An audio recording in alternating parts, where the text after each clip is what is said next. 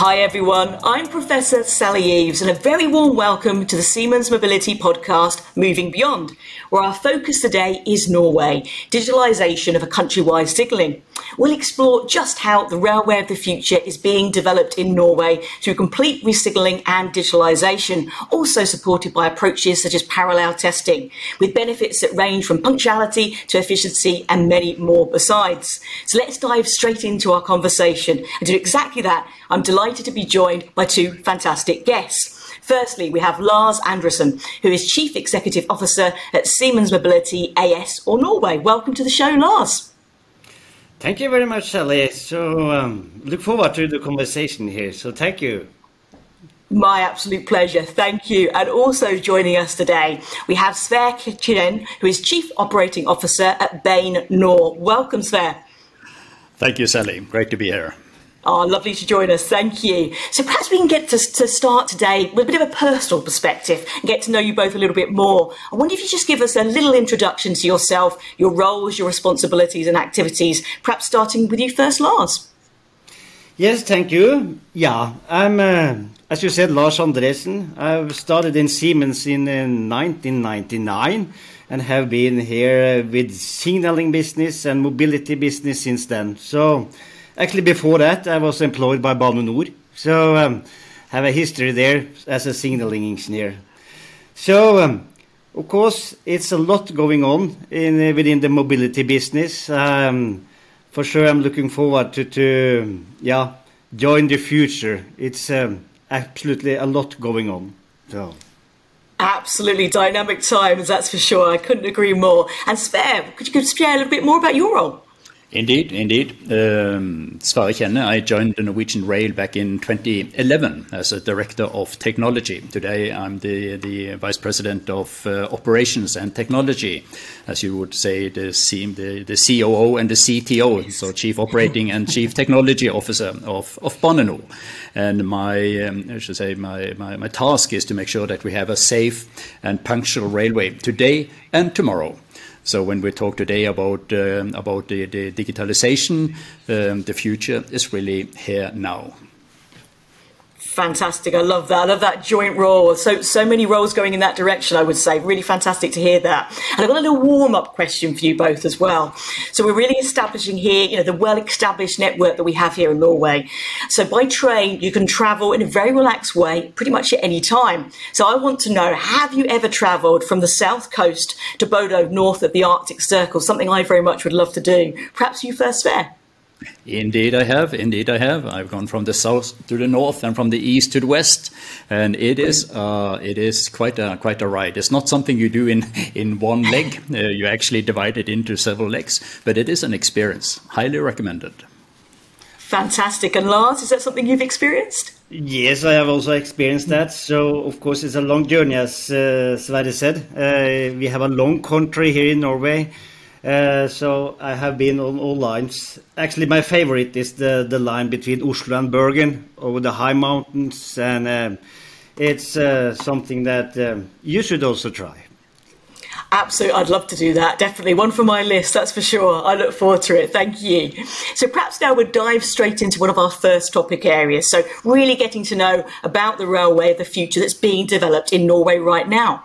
So Siemens and Nor are communicating and really kind of sending this message, this story out there right now that Norway is really an exemplar of a rail network that's being built and truly modernised. So that includes things like digital signalling network, ERTMS. I'd love to know a little bit more and share with the audience what the key characteristics of this key project is, perhaps starting from your perspective, Sverre. Um, we have a country with around 350 stations. And if you look at the structure we have uh, today, uh, it's basically one signaling system in each location. Um, and that gives us um, a real challenge when it comes to the number of different um, uh, solutions. So the ERTMS, our approach to this has been to say that we want to go as far as we possibly can in standardization. And if you want to really to standardize, we want to make sure that we have, uh, for one country, we have one interlocking and we have one data center. So it's a massive standardization program with a new technology. Absolutely, that makes perfect sense. And from your perspective, Lars?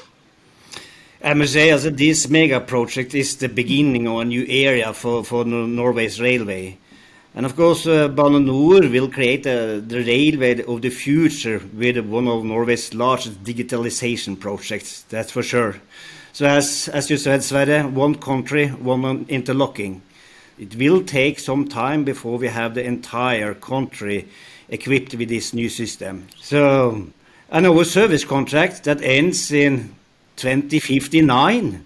I don't think I will be part of that, but um, also that will come into force with the first opening of the first line.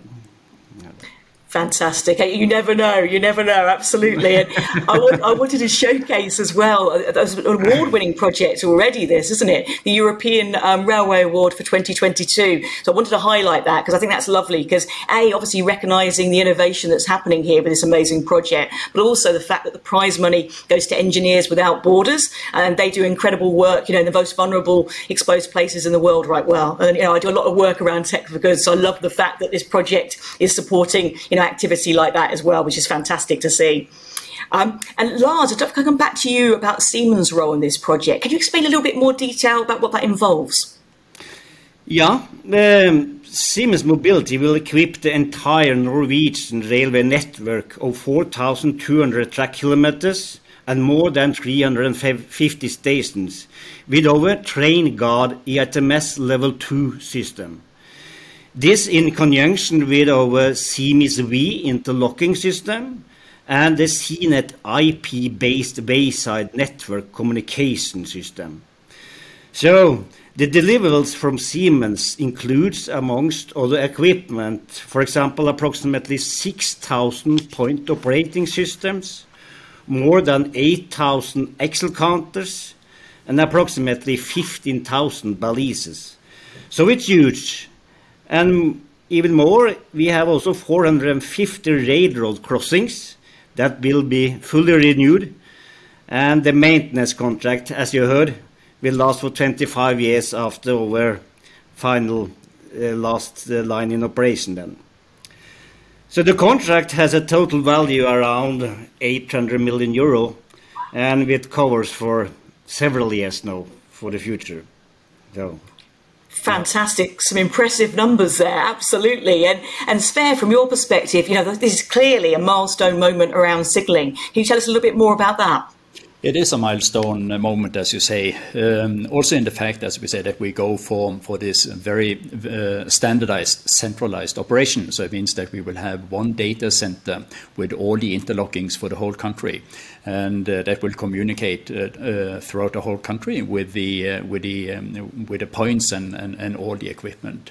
Um, and Norway invests around two and a half billion euros in the in this um, in this digitalization program, and it is the largest digitalization program, um, at least from the Norwegian uh, within the Norwegian government. So it's a it's a huge investment, and it takes the Norwegian rail into the future.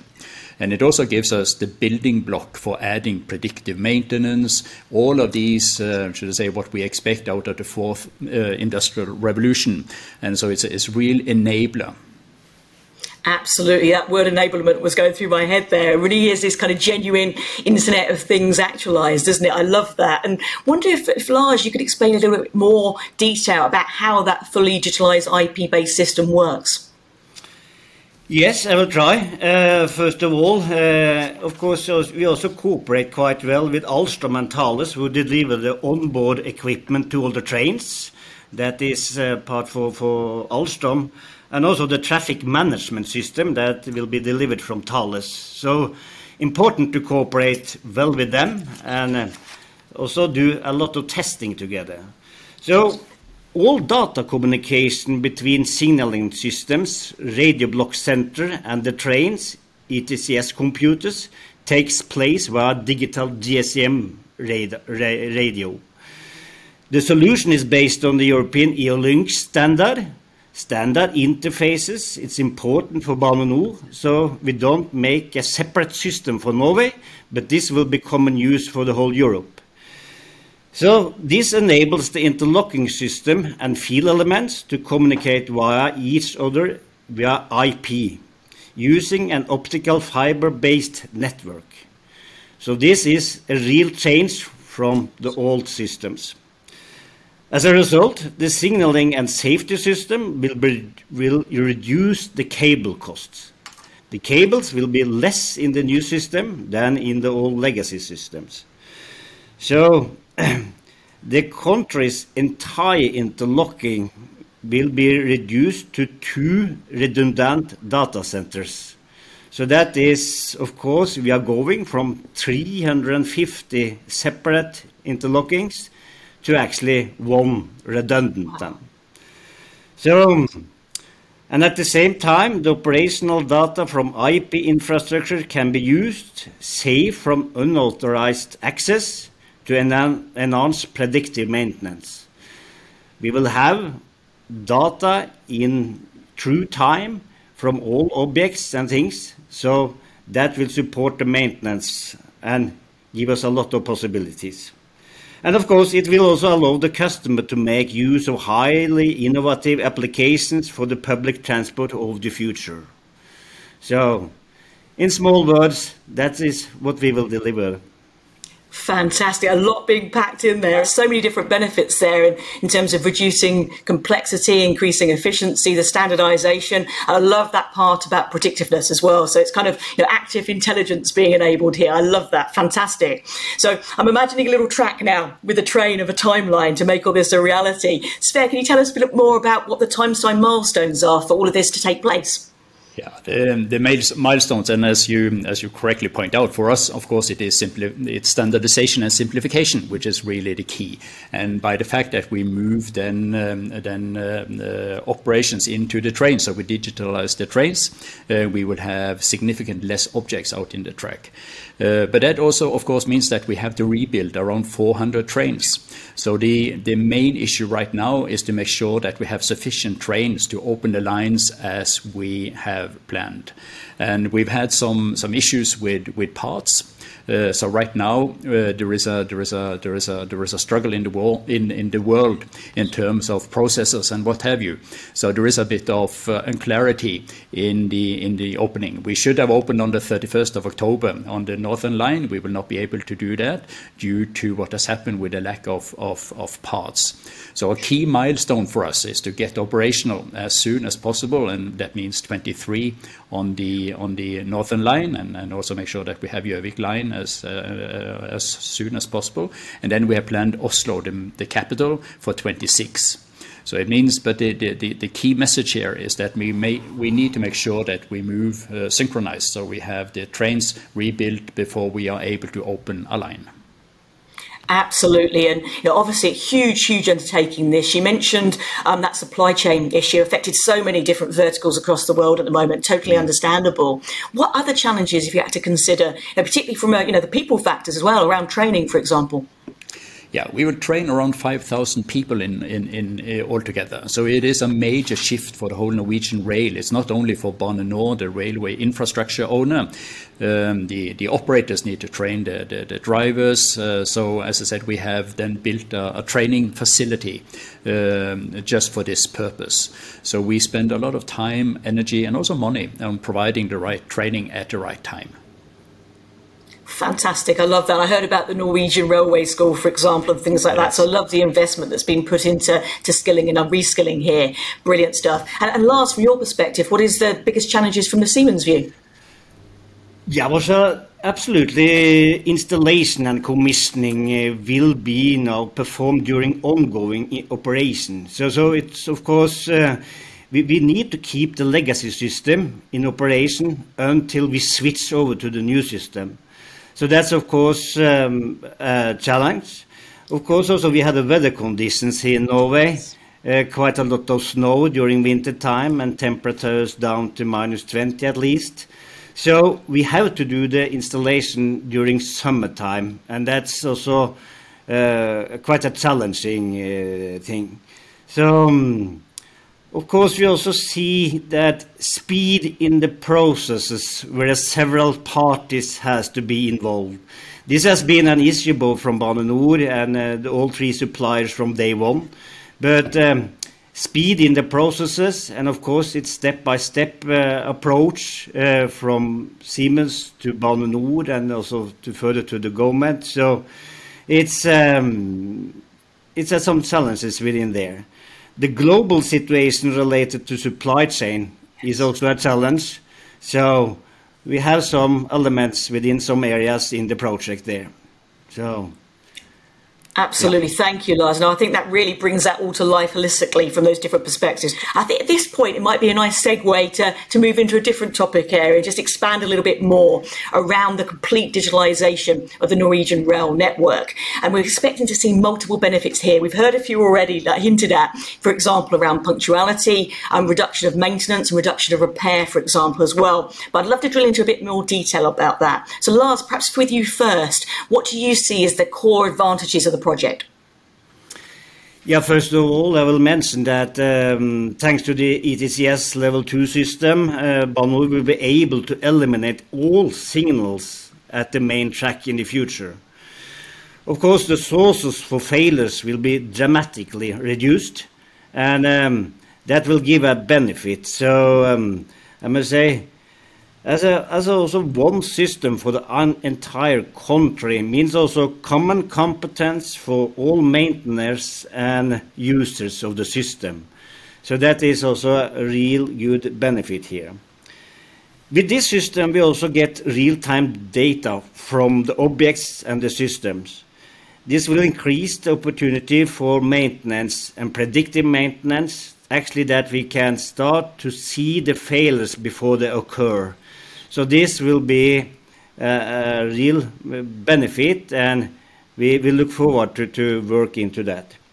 Fantastic. I love that. You know, benefits both from an operational point of view and obviously for the end user consumer as well, alerting before they might experience an issue, for example. So I love that. And, and Sverre, from your perspective, what do you see as, as a key benefits?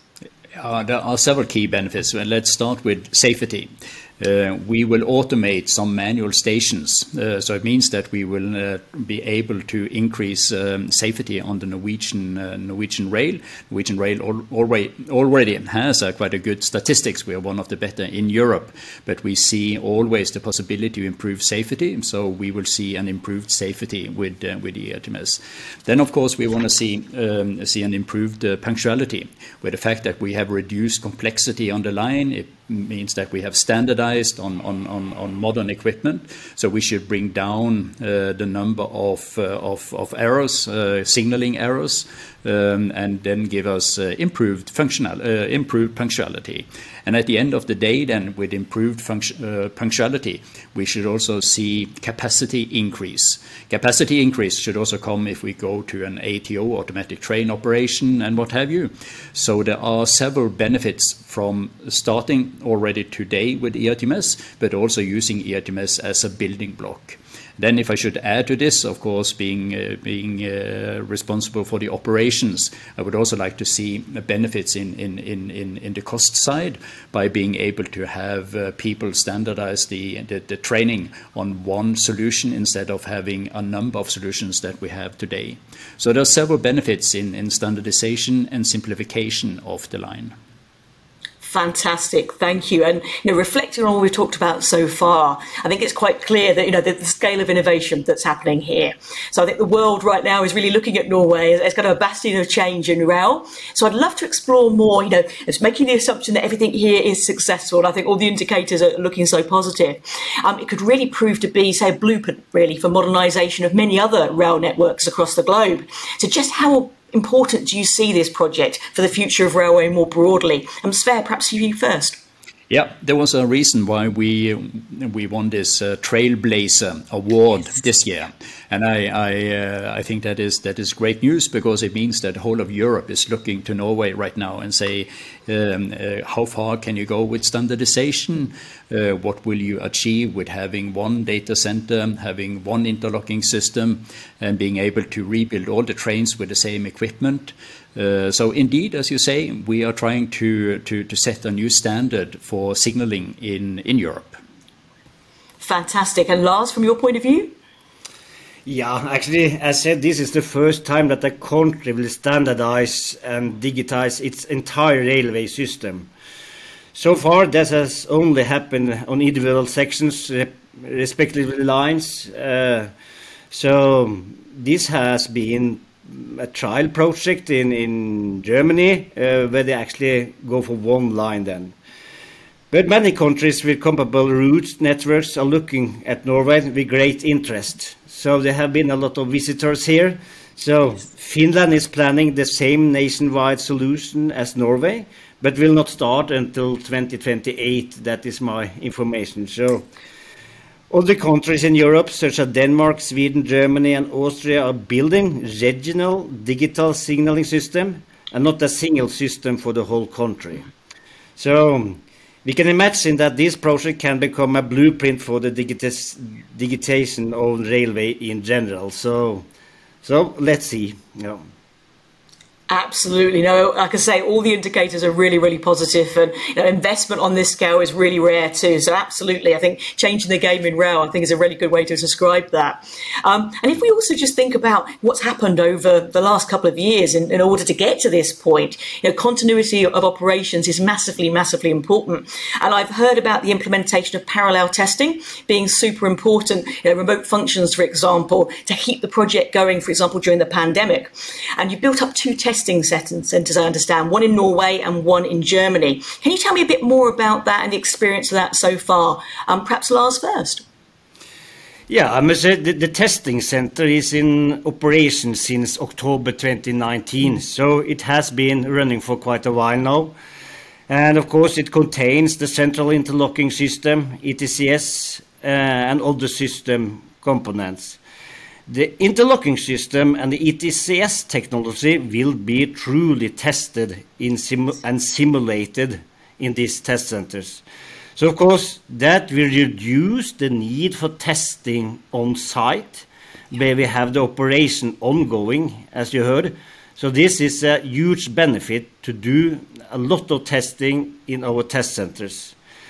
And for sure, we have had the pandemic, and um, with these two test centers, we have managed to actually yeah, continue the testing, sitting from home office, uh, both in Germany and Norway, and do this testing together with Bane NOR and the other suppliers. So um, it's a huge benefit for us. Absolutely, and that partnership again coming to the fore. Absolutely, Sverre, what was this like for you? How did it benefit your operations? Yeah, you, of course, what we what we aim for is basically a digital twin. So I should say that my, my dream, my vision, is to be able to have a digital twin that we can um, that we can test and see the effect before we go out in the field at all.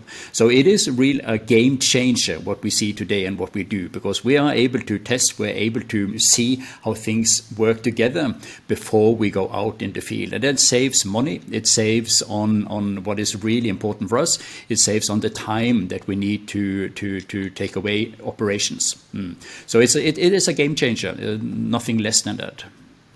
Fantastic, thank you. And can you tell me a little bit more, Lars, about the outdoor systems and also the real life um, railroad lines as well? I'd love to bring that to life. Yeah, uh, of course, it starts with with data and uh, actually with with to know what we are going into then. So the project team simulates those digitally using BIM BIM technology.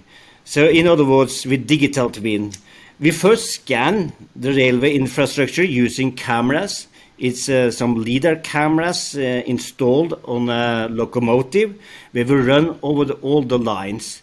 And then we measure where the points are, where the objects are placed.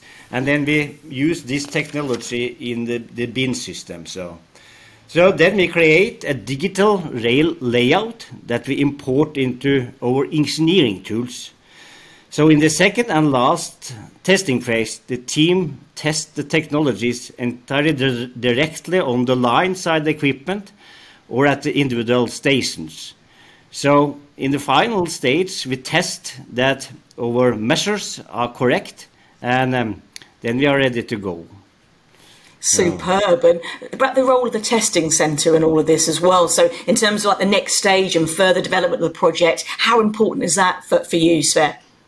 Oh, it is key. And um, what we need is, of course, both the digital twin that we just mentioned, but we also need, of course, to go out in the field and do the tests. So we have um, a, a, a test line where we are able to see that uh, what we uh, what we saw on the digital twin actually works out in the field. So you can't have uh, only one of them; you need to have the combination. And this also going forward is is is, is key. But we want to have building blocks. We want to simulate the effect and be able to test effects without going out in the real line. But we need, of course, when we have seen something that we that we like on the digital uh, side, we need also to be able to test it real life out on the on the pilot pilot line. Absolutely. And, and Lars, from your take, how, how important is the testing centre for you? Oh, the, the testing center is uh, really important for us. As I said here, we, we have the possibility to test functions, to test that things are working. And of course, we simulate the interlocking and do all these things, and then we can actually yeah, modify and find errors, find um, things we struggle with without uh, disturbing the operation. So, and of course, to sit then with a team in Braunschweig, with a team here in Norway, and we communicate and we share the data uh, in true time. That is um, a real benefit for us and uh, gives a, a, true benefit. Well, Absolutely. No, I love that in terms of the different testing of the, all the elements you've described there, that focus on collaboration, education. And I heard about the establishment of Campus Nyland as well, supporting that further too. So fantastic kind of range of activities there. That's brilliant. And as we kind of move towards the, the end of our episode here, I want to throw in a final question, if I may. So just reflecting on all the things we've talked about today, it's really clear to me that the world is looking, you know, they're looking at what you're doing, they're looking at the power of this partnership. And if you could share, say, one takeaway from all we've discussed today and the work that you've done that would help them take forward their initiatives at the moment and help advance rail globally, what would that be? And um, perhaps to Lars first. I must say, also the, the partnership and, and, uh, to, to actually work here together with, with four parties. Um, so, yeah, three of us suppliers and of, course Bane NOR. We also have quite a lot of responsibility into the deliveries. So it's uh, openness, it's uh, one team, common goals to, to, to actually reach together. And um, here we win together or lose together. So that is um, a common message from me. So yeah. I love that. That's a, that's a great statement, a real, real ethos of sharing and togetherness there. I love that. And Sverre, if I could give your final takeaway. Yeah, we uh, we win together. So I'm, I'm more the guy who like to to win together. Um, but but seriously, the um, I think Lars touched upon it, um, and, and you also brought up uh, Campus Nyland. The fact that we bring together Siemens, Alstom, Thales, and ourselves, that we set a very ambitious target, but we are clear on those targets and we stick to our targets, um, uh, has been, I think, a major, major, major issue for the whole project in terms of moving us forward in, in a good way. So, um, so yeah, uh, choose your partners and uh, stick to your partners and stick to your goals. Fantastic. I love that. I'll, I'll, throw in a quick takeaway as well, and I'll go for three P's. So, partnership, we've already mentioned it. Shared purpose would be my second P, mm. and passion, frankly, that's come through from this conversation as well for rail. That's really a you know driving force for this innovation that I'm seeing, and it's really clear to me that the future of rail really is being developed in Norway, and it's being supported by all those different elements we've talked about today around the resignaling, around digitalisation, all the benefits that's going to bring for reducing complexity, improving standardization, etc., and the important role of testing and also education support and reskilling too. So I, I, uh, I'm going to throw in a little a little phrase as well. I would say the future is bright and the future is real, and it's all start, you know, really starting here. So congratulations to both of you. Long may this partnership flourish, and thank you both for joining me here today, Sverre and Lars. It's been an absolute pleasure. Thank you, Sally. Thank you very much. Thank you, Sally. Well. My pleasure. And thank you all for listening and watching us today. And look out for another new episode of our Moving Beyond podcast coming very soon. Thank you.